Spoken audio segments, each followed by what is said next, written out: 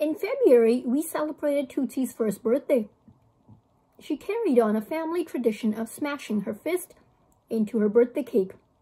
Grandma, who believed in handing out gifts for everyone, not just the birthday person, brought me a four, four color ballpoint pen and Fudge a new brain a new Brian Tumpkin book.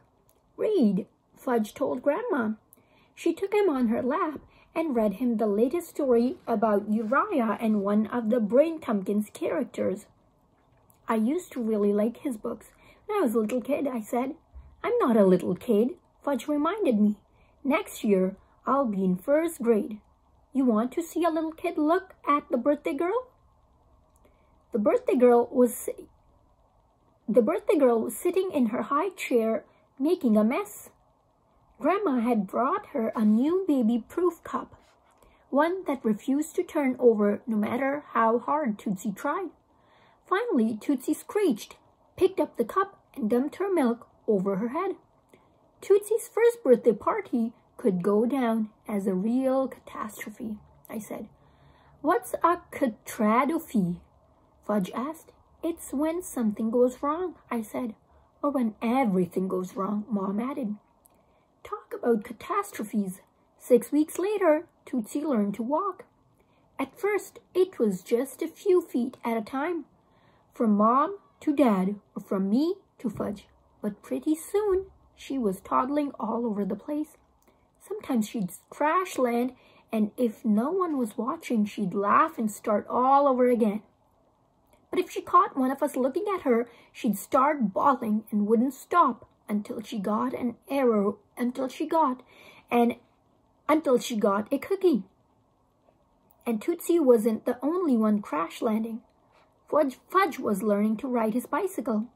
One of his major problems was stopping. Instead of using his brakes, he kept trying to jump off while his bike was still going. I was wrong when he told him he might get a couple of scraped knees. Elbows, knees, and head and head were all were more like it. Constantly, but he refused to give up. He was really determined to get to ride to school.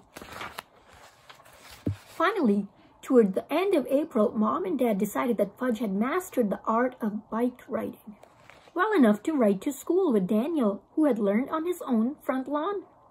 Just the way he said he would, without a bruise or a scrape anywhere and it would have turned out okay if only Fudge had remembered to use his brakes when he got to the bike rack at school. But he didn't, so he crashed into the rack, knocking down a pile of bikes, and he wound up with scraped elbows, scraped knees, and torn jeans. Don't tell Mommy, Fudge said, or she'll never let me ride to school again. I think Mommy's going to notice anyway, I said. You're a mess. I carried him into the nurse's room. Miss Elliot washed off his cuts and bruises with peroxide, and when she did, Fudge let out a howl. Not that I blamed him, I could practically feel the sting myself. But Fudge didn't stop with one howl. He kept it up, making such a racket that Mr. Green, the principal, heard him and came running down the hall. What's going on here? Mr. Green said. Scrape knees and elbows. Miss Elliot said. Scrape knees and elbows. Mr. Green repeated. When I was a boy, I had scraped knees and elbows all the time. Used to roller skate and fall down week after week. Fudge sniffed and said, Too bad you weren't any good at it. Who says I wasn't any good at it? Mr. Green asked. You just said you were always falling down, Fudge said. That's because I took a lot of chances, Mr. Green said. Now I want you to hurry back to your classroom because we're having a surprise visitor in a little while. Who is it? Fudge asked. It's a very famous man, someone who writes and illustrates children's books. His name is Brian Tumpkin. Brian Tumpkin. Brian Tumpkin is alive? Fudge asked. Alive and well and on his way to our school. Brian Tumpkin is alive? Fudge said again. I never knew that. Did you know that, Peter? I never thought about it, I said. Mr. Green faced Miss Elliot and said, Lucky break for all of us that he's agreed to do a program for our girls and boys. I'm afraid I don't know who he is, Mr. Elliot said. Miss Elliot said. You really don't know?